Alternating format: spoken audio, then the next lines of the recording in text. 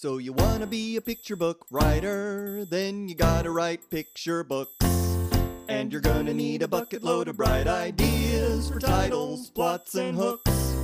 If you're partial to prose or you're raring to rhyme, then repeat after me. It's a challenge, but I'm gonna tackle each story one month at a time with 12 by 12.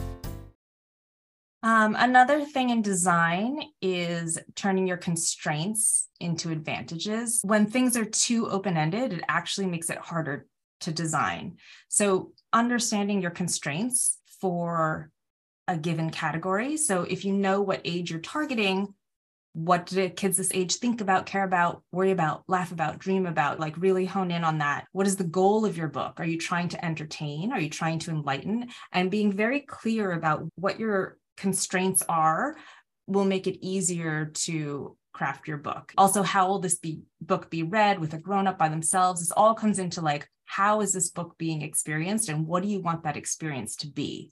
And are you are you designing toward that or writing toward that? so a note about complexity. This is my shorthand for how I think about different categories and the level of complexity that should be targeted for those different categories. So when I think about a picture book, I actually think about it as a poem. I feel like picture books are so tight in their words, but need to be so rich and evocative that I think of them like a poem. They just have to be perfectly constructed with a full arc and richness to them early readers, I feel, are more like skits or vignettes. They're like little playful stories. They don't need to be as layered or as complex. Graphic novels, I think of like plays because they're so heavily dialogue and you're staging how the characters move through the space. They work a lot like a play to me. Chapter books are like TV episodes because chapter books are often series. They're, they're like episodes in your favorite TV show. Like one chapter book kind of is an episode. So you have one arc in there, but you might have an ongoing story that goes through all of them, or it might be a standalone. And then I think of novels as movies, but I've never written a novel or I have, but I've never finished one. but that's how I think of it. Some so when you're writing, think about how many characters, story arcs, themes, and plot lines make sense for your format. How simple and complex should it be? Okay, I'll look at some categories and examples. Everything I wrote in the first three years started off as a picture book, and many of them turned into something else. And I'm going to talk about why some of them turned into the categories they did. So, first, I'm going to talk about picture books, which I'm calling the gateway drug to writing. So, I started off wanting to write picture books, as many of us do. It's beloved format we read with our kids. Picture books are probably how you got or will get your agent. It's hard to get an agent with a board book, but picture books or middle grade or YA are usually the the ways to get an agent. They're perfectly polished and precise very competitive space, usually 32 to 40 pages, full page size, illustrated, where the illustrations often go beyond the meaning of the text, often under 500 words, with many exceptions. They're expensive and they generally target ages three to seven. I know you know all this, but I'm laying the land. Um, so I'm going to talk about my upcoming picture book and how it got there and why it's a picture book and not, not nothing else.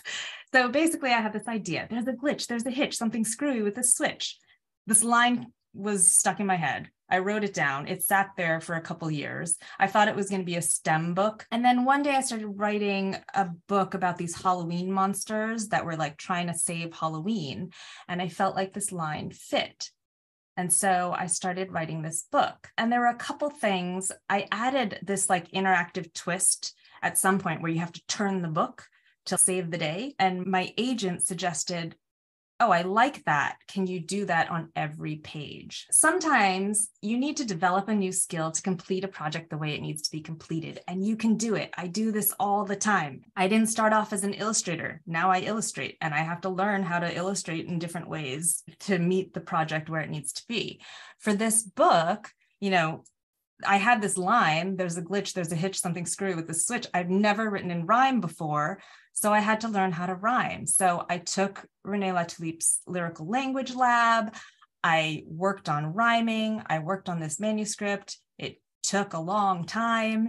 And then with this interactive note from my agent, I studied a lot of interactive picture books. And they're not that many, but looking at how they did it, how does it mechanically work, and studying those mentor texts to figure out what elements I could pull into my book. And of course, all of this kind of stayed squarely in the picture book lane. It's rhyming, interactive books lean young for little kids to press on things, twist the book, blow on the book. And so this is The Boo Crew Needs You, which comes out this fall with Sourcebooks illustrated by Sarah C. Liu. Sorry, I'm messing up her name.